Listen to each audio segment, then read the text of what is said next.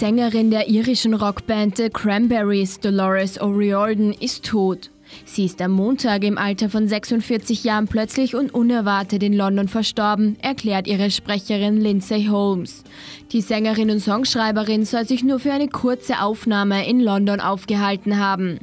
Der Cranberries, gegründet im Jahr 1989 in Limerick, erlangen in den 90er Jahren Ruhm mit ihrem Debütalbum Everyone Else is Doing It, So Why Can't We und Hits Will Linger und Just My Imagination.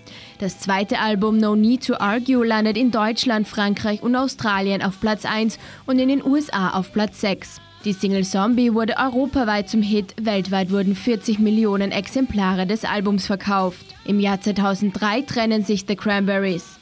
O'Riordan startet eine Solokarriere, doch 2009 findet die Band wieder zusammen. Wir hatten alle diese tolle Zeit zusammen, auch wenn wir eine Pause eingelegt haben. Wir haben dann gemeinsam entschieden, dass es toll wäre, wieder zusammenzukommen, weil wir ja auch noch ziemlich jung waren.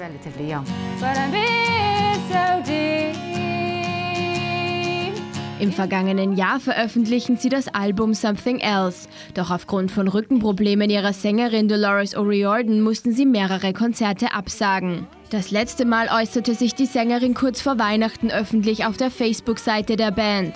Hallo allerseits, Dolores hier. Ich fühle mich gut. Ich habe am Wochenende die ersten Auftritte seit Monaten gehabt. Wir haben ein paar Lieder bei einer Weihnachtsfeier in New York gespielt. Ich habe es wirklich genossen. Frohe Weihnachten euch allen. Dolores O'Riordans Family möchte aktuell in dieser schweren Zeit alleine sein.